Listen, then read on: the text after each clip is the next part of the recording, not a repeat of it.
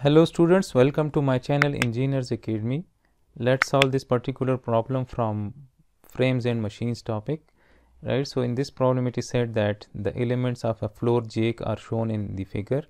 The figure uh, CDFE is a parallelogram, right? So this CDEF, so this is a parallelogram, right? This makes a parallelogram.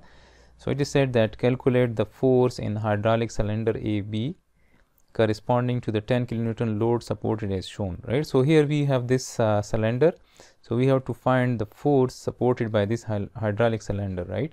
If 10 kilonewton force is applied at this particular point d right? And further it is said that what is the force in link ef right? So we have this link ef so in the problem it is said that find the force in this ef link right so now if we uh, look into this uh, jack, right, so if 10 kilonewton force is applied here, so as we can see that this C, B and D, uh, this this will what will happen is that it will rotate in the clockwise direction, right? So it will rotate in the clockwise direction.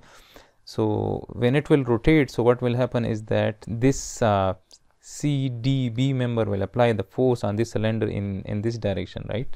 That is towards left right? And as a reaction this cylinder will apply the force on this uh, CBD member in the opposite direction right? So this will have the force in this direction right? Like this. So now if we consider this uh, this part only this C BE part like this right? So if we consider this as a free body diagram so what will happen is that we will have the force on this CBD member in this direction that is toward right right? And that will be the cylinder force. We can say that this will be AB force right? So let me isolate this part right? So we will have this as a free body diagram. So then we will have uh, this as a point D. This is that point D right? And here this is that point B. I can write this is that point B and this is that point C right? So this 10 kilonewton force is applied at this point d right? So we can show that 10 kilonewton force here that is applied at this particular point d right? And this is 10 kilonewton. It is acting vertically downward right? And here at c we will have uh, reaction forces as well. So let's say that this is cx and this is cy reaction force right? If this is our positive x and y direction right so we, we need to find this AB force, right? So if, if I apply the summation of moment about point C equals to 0 and the counterclockwise moment is considered to be positive.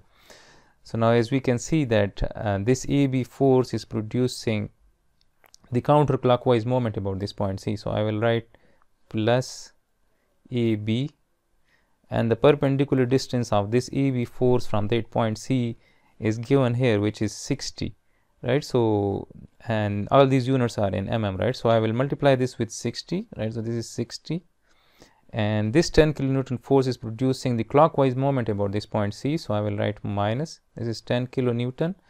And the perpendicular distance of this 10 kilonewton force from that point c is given. This is a 222 right? So i will multiply this with 222 so this is equal to 0 so from this we can find that AB force that is the hydraulic cylinder force which is equal to 10 into 222 divided by 60 right. So we can solve this. So this is uh, 2220 divided by 60.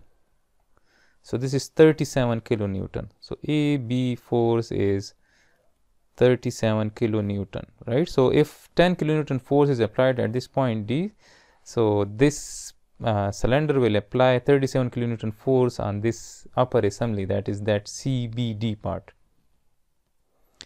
Now further we are required to find the force in this EF link as well right. So for that I will consider uh, this part right as a free body diagram. So if I draw this as a free body diagram right so we will consider this part as a free body diagram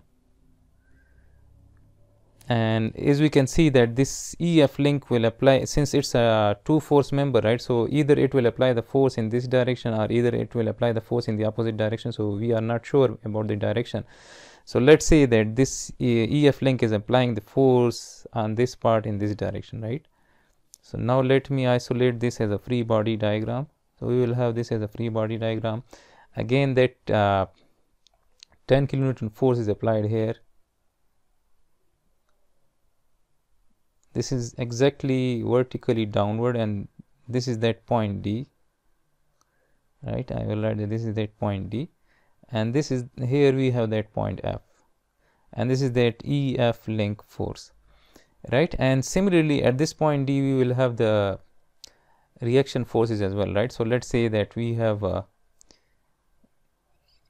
we have let's say dx force in this direction and let's say that we have dy force in this direction right? So now if we consider this and if i apply the summation of moment about point d equals to 0 and if we consider the counterclockwise moment is positive right? So this is that 10 kilonewton force. So this 10 kilonewton force is passing through that point d. So the perpendicular distance of this 10 kilonewton force from that point d is 0 so it will not produce the moment about that point d Similarly, this dx and dy are passing through this point D. So, they are not producing the moment about that point D as well.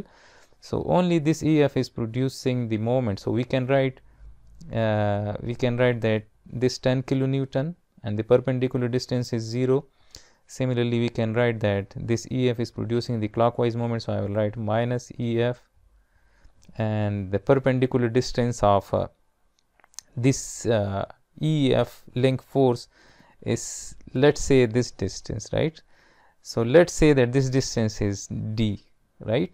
So let me multiply this with d. We do not know this uh, perpendicular distance of this ef link force from that point d. So let's say that that distance is d right? So i will multiply this with d and this is equal to 0 so this is this is equal to 0 so we can write that this is 0 minus ef into d equals to 0 or we can say that ef into d equals to 0 so, now as we can see that this distance is not 0 this is obvious from this uh, from this figure that this d is not equal to 0 at least right. So, this d is not equal to 0. So, if this d is not equal to 0 so this means that the force in that EF link is 0 right. So, we can say that in order to have uh, the moment about that point d equals to 0 this EF force need to pass through that point d if this EF force is not passing through that point D, so this means that this D distance is not 0. So, in other words, we can say that this EF force is 0, right. So, the force in AB cylinder is 37 kilonewton, that cylinder will apply 37 kilonewton force and this whole assembly and the force in that EF link is equal to 0, right. So, this is the solution of this particular problem.